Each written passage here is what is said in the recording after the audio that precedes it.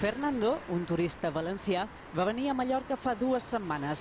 Va llogar un cotxe a través de la plataforma Drivey, que posa en contacte usuaris i propietaris de vehicles.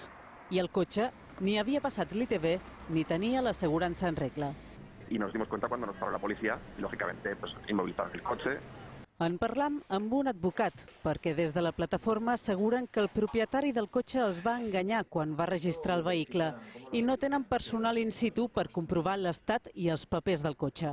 Per això no en van ser conscients fins que Fernando ho va denunciar.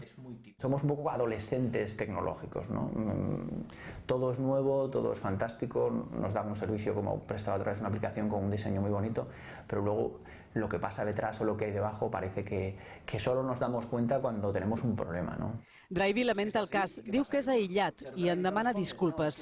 L'usuari denuncia que no garanteixin uns mínims bàsics de qualitat. al igual que yo cuando alquilo una casa en Airbnb no tengo que comprobar si tiene la cédula de habitabilidad pasada ni si tiene algún problema de escape de gas L'empresa Drivey no s'ha fet càrrec de les despeses d'aquest cas ni de les denúncies pertinents, perquè en el moment en què la policia va aturar el vehicle conduïa una persona que no constava en el contracte. Segons els usuaris, el propietari no els va permetre posar conductors alternatius en el contracte i en van informar la plataforma.